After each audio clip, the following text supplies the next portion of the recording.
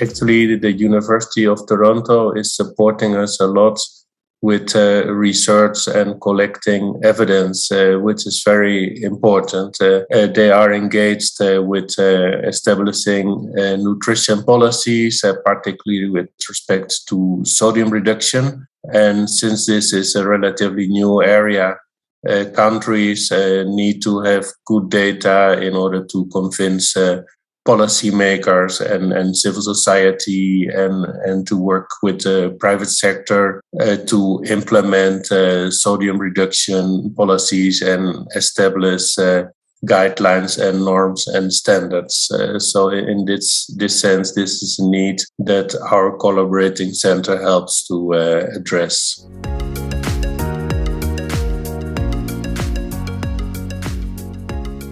Uh, with support of the University of Toronto, uh, many activities has been developed, especially to monitor the sodium content in the food supply. They have developed an application, and we have trained uh, several countries in the region to apply that application, which uh, can be used in supermarkets to look at the nutrition content uh, table and to look at the sodium content in in different uh, foods. And, this way we can track progress over time and make comparisons between countries.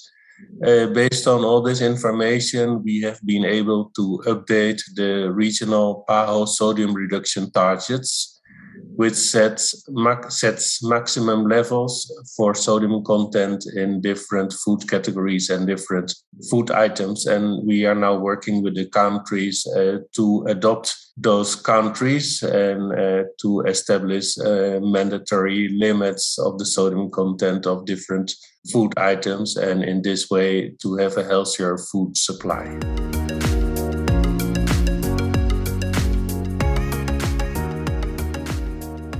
Think um, actually uh, we are working at the whole region. Uh, of course, the updated uh, regional sodium reduction targets apply to uh, the whole of uh, Latin America and the Caribbean.